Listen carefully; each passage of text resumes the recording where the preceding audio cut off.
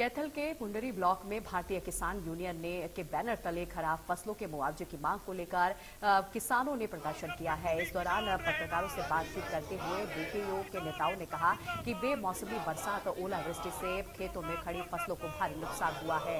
ऐसे में सरकार स्पेशल गिरदावरी करवाकर किसानों को पचास हज़ार प्रति एकड़ की दर पर मुआवजा दे और ये मुआवजा पंद्रह दिन के अंदर किसानों को खाते में डालना चाहिए। वहीं साथ ही किसान नेताओं ने कहा कि अडानी के गोदामों में फ़सल बेचने के लिए किसान को मजबूर न किया जाए। किसान को अपनी मर्ज़ी से मंडियों में गेहूँ की फ़सल बेचने दी जाए। वहीं किसानों ने पंडरी के अनाज मंडी एसोसिएशन के प्रधानों को बुलाकर समर्थन देने की अपील की है।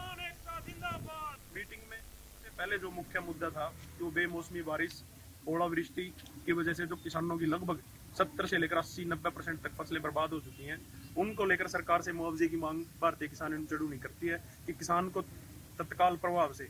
10 अप्रैल तक सरकार किसान को चालीस हज़ार रुपए प्रति एकड़ का मुआवजा देने का ऐलान करे और जो सरकार ये किसानों को मेरी फ़सल मेरा ब्यौरा पोर्टल ई क्षतिपूर्ति पोर्टल इनमें उलझा रही है उसको उलझाना बंद करे।